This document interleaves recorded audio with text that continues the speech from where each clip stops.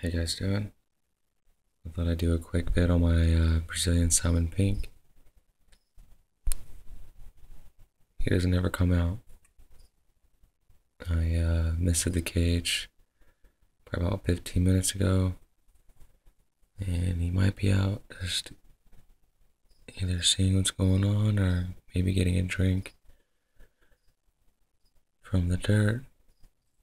I got a little water dish right here, but I never fill it up because he never comes out. I spray in there about twice a week, if not more.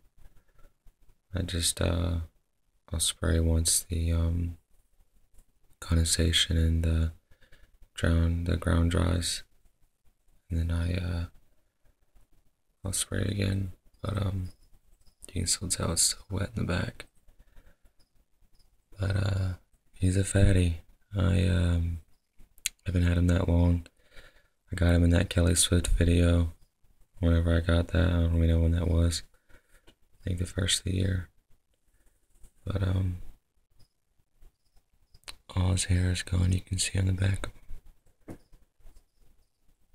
He's webbed up pretty nicely at the front too. So probably doesn't want to be disturbed. So I haven't given him any food.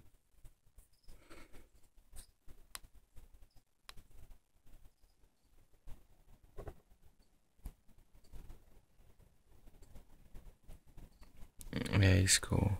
Very skittish. I didn't think he'd be that skittish, but he is a pussy.